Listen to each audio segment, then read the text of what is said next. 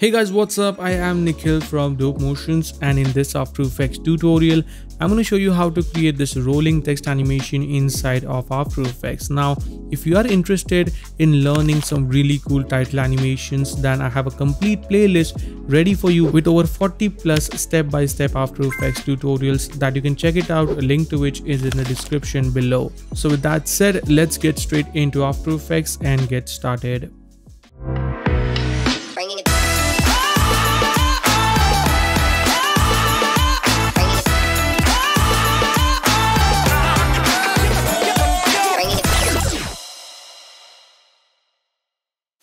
Now before we start today's video, I just want to take a minute and talk about our today's sponsor HitPaw Video Enhancer. It's an AI video quality enhancer. Using this, you can easily convert low resolution videos to high resolution, 360p to 1080p and 4K to up to 8K. It comes with four incredible AI super resolution models that can enhance almost any kind of video. General denoise model can improve details and reduce noise and enlarge video up to 2 times, 4 times and even 8 times. Face model can fix deeply blurred faces and restore facial details. Animation model can AI upscale 2D and 3D cartoons and increase video resolution. Colorize model accurately turns black and white videos into more vivid ones. All you have to do is choose the file, select the AI model you want and export the video. HitPaw Video Enhancer supports up to 17 different languages and comes with features like auto enhancing, batch processing, preview without watermark and more. So check out HitPaw Video Enhancer first link in the description below. Alright, so here we are in After Effects. Let's start by creating a new composition. I'll go with 2560 by 1440. That is 2K. You can of course go with full HD or 4K if you want to. I'm going to call this render as our main render comp. 30 FPS is our frame rate and the duration is set to 10 seconds. Press OK. Then create another new composition. This is going to be a text placeholder. So let's call this text and press OK. Then I'll select the text tool and then you can type in anything that you want. I'm going to type in motions. For the font, I'm using Clash Grotesk, which is one of my favorite font and it is absolutely free link to which is in the description so here we have our text now let's go back into our main render composition and drag the text composition like so now let's go right here and you will see an option for region of interest. So I'll select that and let's create a selection around our text like so. Okay, you can adjust it if you want to. Alright, once you're happy with the selection, go into composition and click on crop comp to region of interest. And what this is going to do is crop or resize the composition according to the region of interest that we selected. So if I go back into my rendered composition, here we have our text with the composition already cropped up. Now we need to create a bunch of duplicates for every single alphabet. So right now we have one for M. So now we need to create one, two, three, four, five, six more copies. So I'll select the layer, press Ctrl D six times. So one, two, three, four, five, six. And now we have seven copies each for every alphabet. So I'm going to select the bottom one, Let's zoom in a little bit and select the rectangle tool and I'm going to create a mask like so. Then select the sixth one and create a mask for the second alphabet. Make sure the mask doesn't overlap onto the next alphabet or the second alphabet. Then select the fifth one and let's create one for this. Let's create this one and one more like so.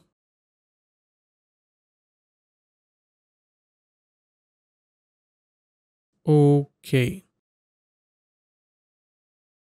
Alright, so our mask is ready. Now let's select the layer. I'll go into Windows and let me open the Effects and Presets panel.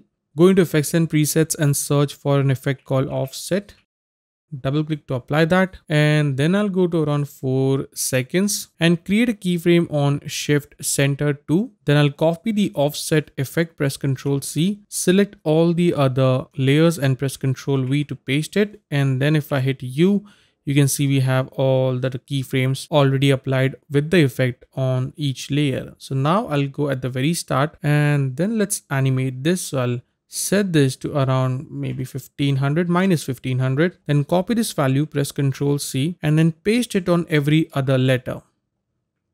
Control v control v and um, control v. So now we have something like this. Then select the second letter that is O and let's set this to plus 1500 that is in the positive value. We can copy this control C and again paste it on every other letter.